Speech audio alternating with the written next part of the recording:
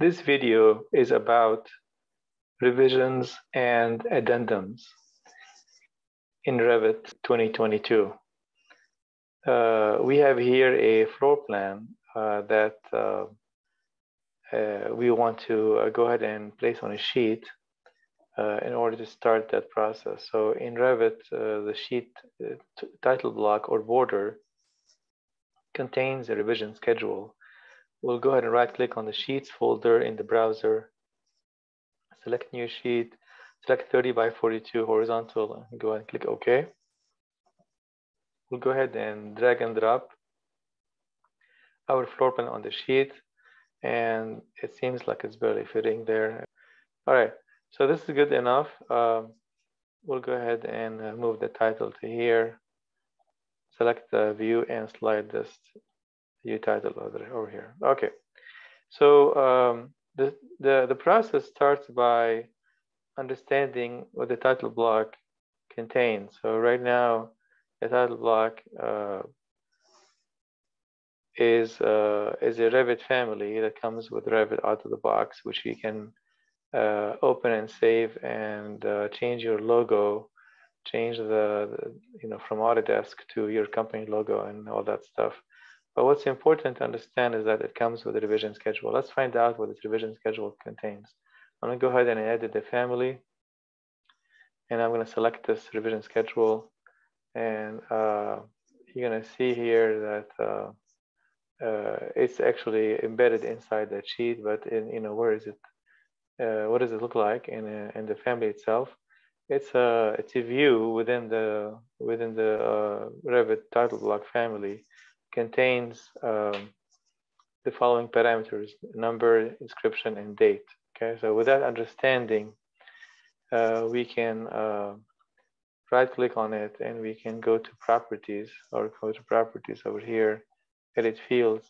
Actually, we can we can add more fields if you wanted to and uh, sort in different way if, if we choose to to do that okay so but we're not going to do that at this time. We're just going to accept it the way it is. So i'm going to go ahead and close the title block family and not save it and go ahead go back to the revit project. Okay.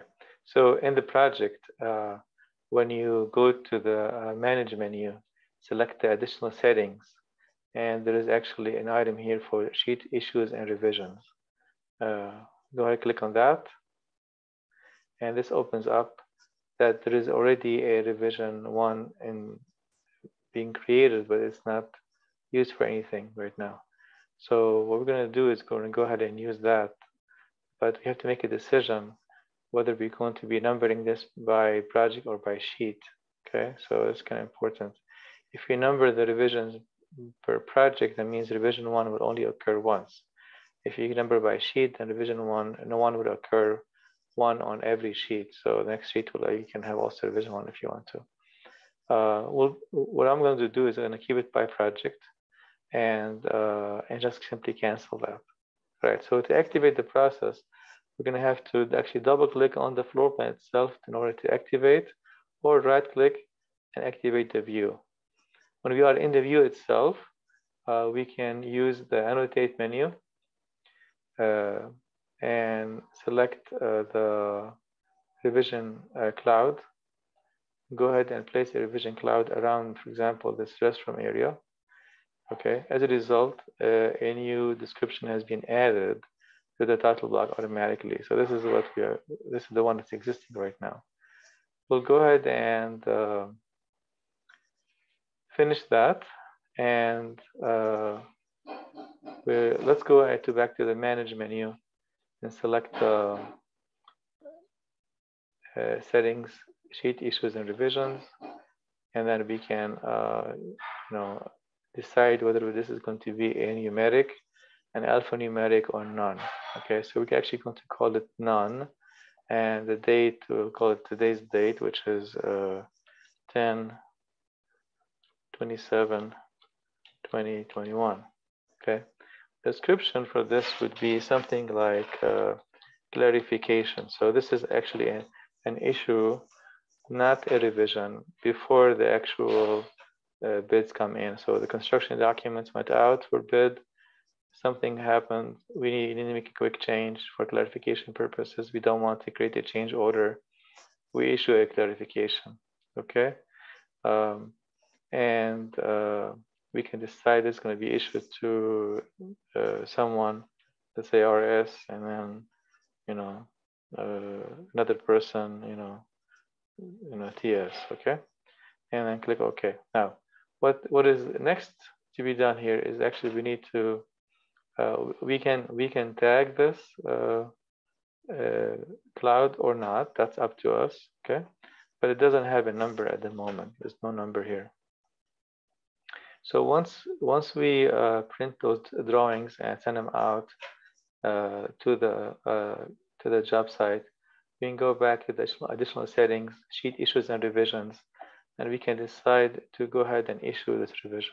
Okay, once it's issued, then it's kind of locked and it's actually uh, we can tell Revit, you know, don't don't tag and uh, don't don't cloud and tag this uh, this or or just or or or you know you can decide what what what, you, what you want to do with it. Okay, uh, so we have printed the, the, the drawings out, and we are going to uh, not cloud and non tag hit the apply button. As soon as we hit the apply button, cloud is is removed from the uh, from the actual floor plan, but that but the description is stays.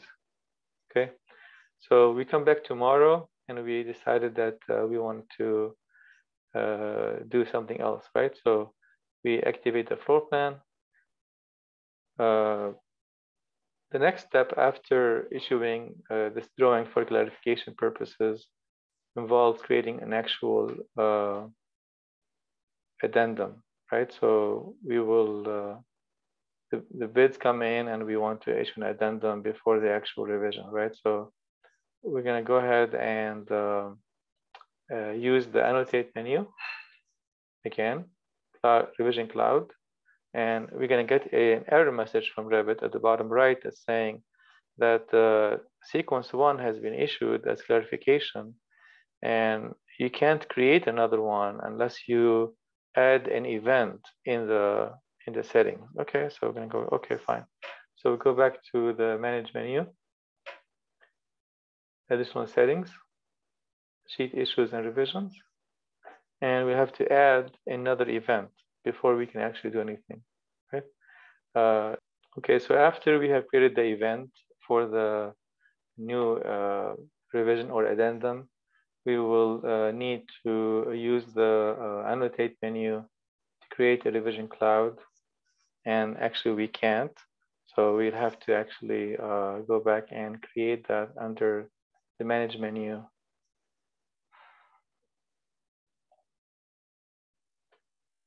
Additional settings, sheet issues and revisions.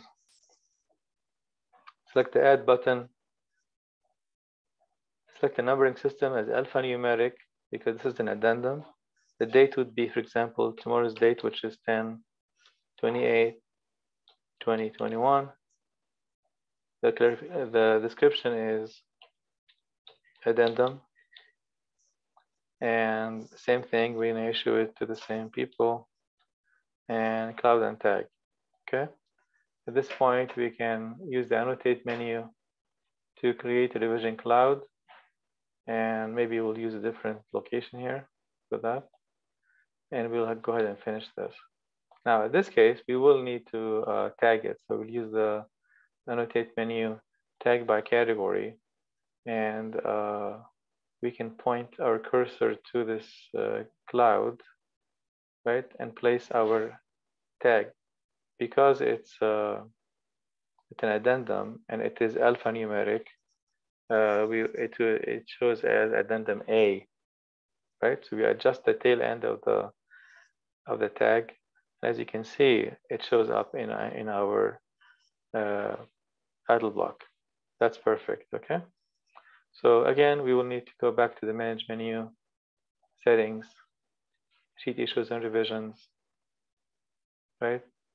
And tell Revit, okay, go ahead and issue this, but uh, only tag only, but don't don't cloud. Okay. We'll add another uh, event, This one will be actually revision one. The numbering system is numeric, one, two, three, four. The date is the day after tomorrow, which is 10, 29, 2021. And same thing, issued to the same people. And cloud and tag, click OK to accept. And the tag of the previous one is still there, but the cloud is invisible at this moment, right? We go to annotate menu, select the revision cloud command, and we will uh, try to uh, cloud a different uh, part of the drawing.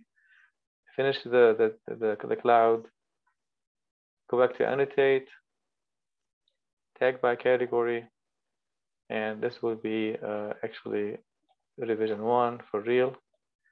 And here's the uh, triangle symbol for the revision. This is one, this is NMA, and this one is, doesn't exist anymore.